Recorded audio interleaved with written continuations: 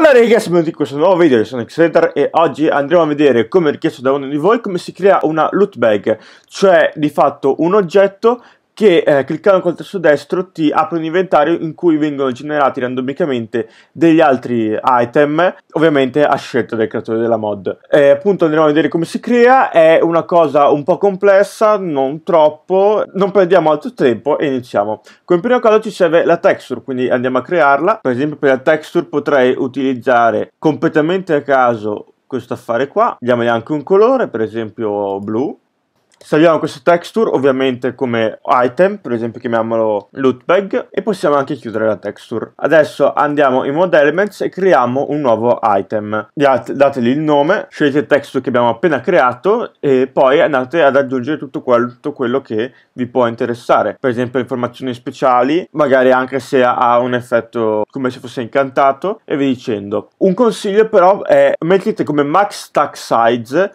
1 per evitare conflitti, problemi o altre cose all'interno appunto di questo item. E poi queste altre impostazioni modificate come più preferite. Pagina successiva eh, dobbiamo poi legare una GUI a questo oggetto, cosa che non facciamo adesso perché prima dobbiamo appunto creare la GUI. Pagina successiva, anche le procedure dovremo crearne alcune. Adesso salviamo l'elemento della mod e andiamo appunto a creare la GUI. Rootback GUI, ci serve una GUI con gli slot e poi andiamo a mettere tutti quanti i vari slot che ci interessano. Utilizzeremo gli slot di output perché non vogliamo che il player utilizzi questa loot bag come un, uno zainetto, vogliamo semplicemente che possa togliere gli oggetti dai vari slot della GUI e non metterli, a parte ovviamente gli slot dell'inventario. Quindi andremo a mettere soltanto slot di output. Ok, io ne ho messi 10, voi potete metterne quanti ne volete, da 1 a infiniti. Se abbiamo questo elemental mod e non ci serve più riaprirlo. Ricordate ovviamente gli id che sono da 0 a 9 se avete fatto 10 slot o comunque sia il numero degli slot con i loro id. Quindi adesso andiamo di nuovo in loot bag, modifichiamola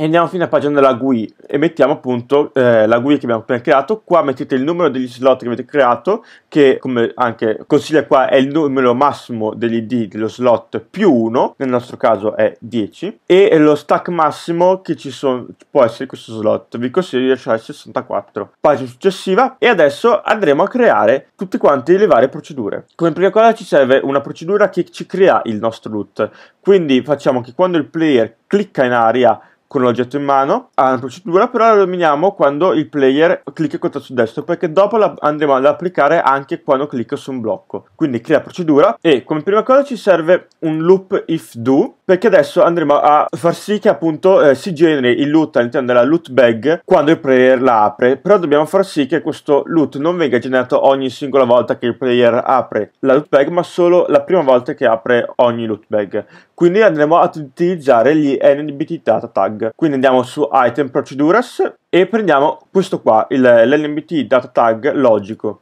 Lo nominiamo opened, quindi appunto aperto. Andiamo a prendere eh, in logic in loops questo qua, lo attacchiamo qua e andiamo in logic in loops e prendiamo il segmento true e lo mettiamo su false. In pratica controlla che se la tag opened è falsa, allora genera il loot. Se invece è vera, non lo genera. Quindi andiamo appunto eh, di nuovo in item procedures e scendiamo fino a prendere questo qua. Mettiamo qua di nuovo la stessa tag, quindi opened, e lo attacchiamo qua sotto quindi appunto se la data tag opened è falsa diventa vera, però diventa diventare vera dopo che la procedura ha creato tutto quanto il loot. Quindi adesso andremo appunto a, a far sì che crei il loot. Come prima cosa ci servono delle variabili locali. Devono essere variabili numeriche e dovete fare una variabile per ogni singolo oggetto che volete all'interno della loot bag. Per dire io voglio 4 oggetti possibili, massimi, e quindi andrò appunto a creare eh, 4 variabili. Per esempio chiamiamola item 1 mi raccomando devono essere tutte quante numeriche, item 2, anche questa numerica, item 3 numerica. E infine item 4, ripeto, anche questa numerica. Abbiamo creato le nostre variabili locali, ripeto, create tante variabili quanti item volete che vengano generati. E andate a su template library e scendete fino a generate a number between 0 and 10 attaccatelo qua tra eh, il do e appunto l'NB di data tag e duplicatelo per tante volte quante avete creato le variabili locali, quindi nel mio caso 4. E ovviamente poi andate a sistemare le variabili locali qua e mettete tutte le variabili che avete messo. Poi se sapete cosa state facendo andate pure a modificare anche questi numeri qua che è il numero massimo che viene generato per dire adesso un numero da 0 a 10 se qua mettiamo 100 eh, genera un numero da 0 a 100 noi lasceremo 10 per comodità e queste qua servono in pratica per regolare la rarità dell'oggetto che viene generato. Ma la rarità appunto non viene data in base al numero qua massimo ma in base al numero che uscirà. Perché per dire nella variabile item 1 verrà generato un numero da 0 a 10, per dire verrà generato 10 e quindi appunto la variabile item 1 sarà 10. Adesso andremo a creare dei blocchi procedurali che controllano che questa variabile qua abbia un numero maggiore o uguale un dato numero, per dire se è maggiore o uguale a 10 avrà una possibilità su 11 che l'item legato alla variabile item 1 venga generato. Anzi, vi consiglio di qua di mettere 9, così avrete una cosa in percentuale. Quindi adesso appunto andiamo a creare i vari blocchi per generare gli oggetti. Ci serve come prima cosa un loop if do. Poi andiamo in custom variables e prendiamo questo qua. Andiamo anche in logic operation e prendiamo questo qua. E uniamo i due blocchi e poi andiamo in math e prendiamo questo blocco qua. Qua mettiamo maggiore uguale e poi andiamo in do e apriamo procedure e scendiamo fino a questo blocco qua set e appunto così eh, in pratica questo blocco qua piazza l'oggetto che ci interessa negli slot. Andiamo a rimuovere questi due oggetti qua e duplichiamo questo, solo questo blocco qua, non tutto quanto. Andiamo a mettere sia qua che qua. Qua dovete mettere il numero eh, degli slot che vi interessa, quindi nel mio caso sono 10 slot, quelli lì da 0 a 9, e allora va bene che ci generi un numero randomico tra 0 e 9. Se voi avete per dire 12 slot, quindi un, uh, gli ID da 0 a 11, dovete appunto mettere qua 11. Noi lasciamo, ripeto, 9.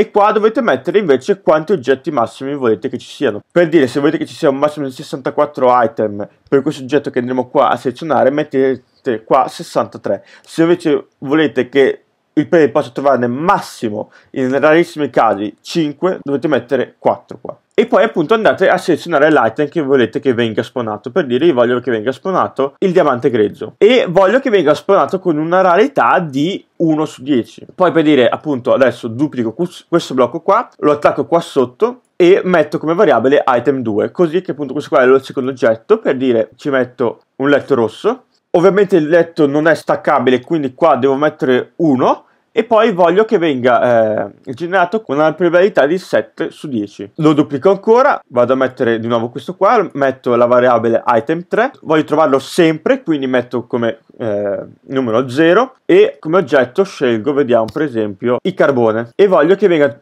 trovato con un numero randomico tra 0 e 63. E però io sono un cretino perché ho dimenticato una cosa fondamentale. Dobbiamo aggiungere questo qua, in pratica qua perché se non aggiungiamo e non mettiamo poi qua il più 1, può essere che ci generi 0 oggetti dell'oggetto qua desiderato nella nostra loot bag e è una cosa che non vogliamo che succeda. Quindi adesso andiamo appunto a duplicarlo ed applicarlo anche alle altri item. Qua avevamo detto massimo di 1, anzi massimo di 0, perché così ci genera appunto un numero randomico tra 0 e 0, più 1, quindi massimo di 1.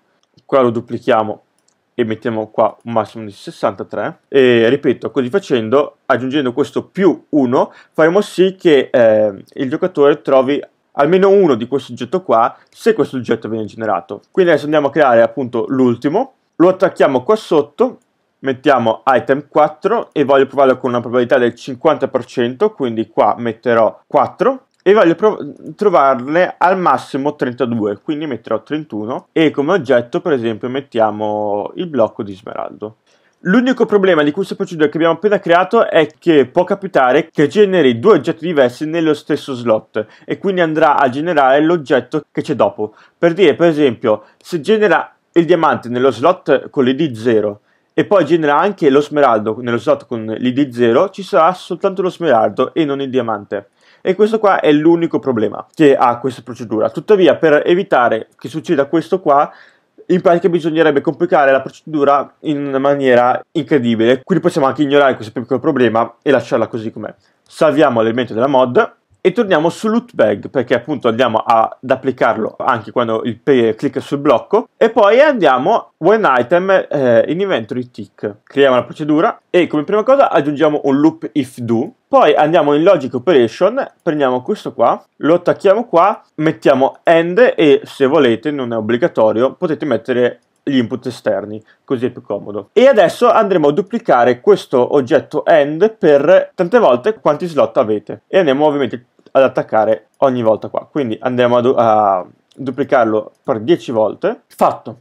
Adesso andiamo in item procedures e dobbiamo prendere il tag logico mettiamo qua opened, che è la nbt data tag che abbiamo messo prima, andiamo in logic operation e prendiamo questo qua, lo attacchiamo qua e andiamo in logic and loops e prendiamo il true e lo attacchiamo qua. E in pratica così facendo, appunto questa procedura controlla che la loop bag che stiamo andando a creare sia già stata aperta.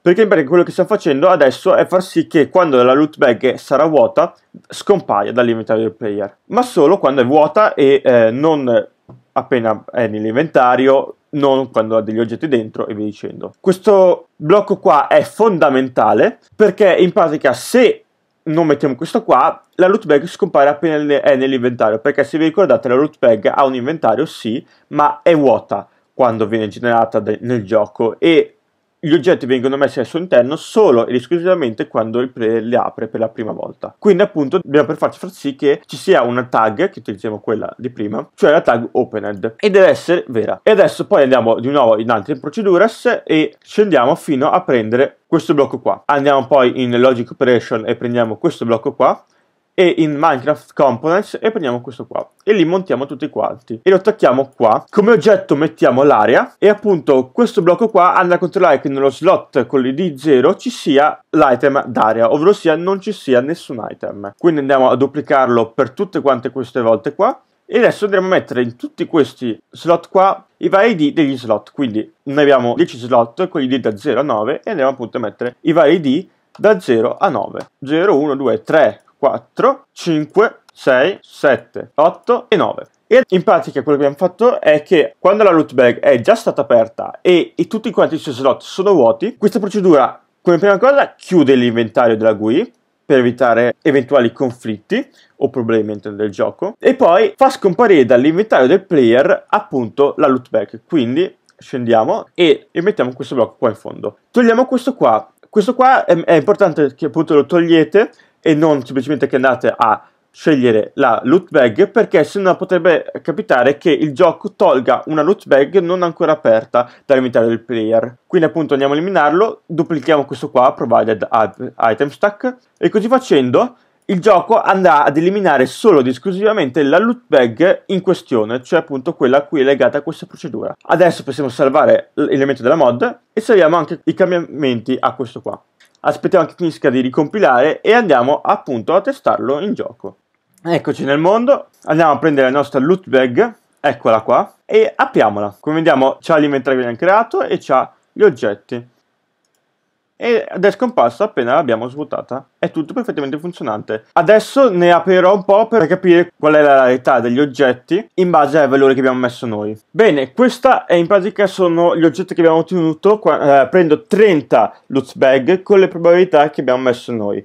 Vorrei far presente che non c'è neanche un blocco di eh, diamante grezzo nonostante io abbia messo una probabilità di 1 su 10.